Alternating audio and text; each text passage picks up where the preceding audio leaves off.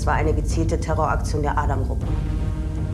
Die Polizei hat bereits eine Großverhandlung eingeleitet, bisher ohne Erfolg.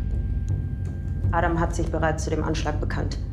Time donations create a system that suspends the principle of equality. Those who make lifetime a commodity also make people a commodity. They reduce human beings to cattle. That's what the people did who had to die in Berlin today. Whoever steals other people's lifetime will be executed by us. Nobel Prize or not. Es. We will hunt them down and bring them to Wie kann das passieren?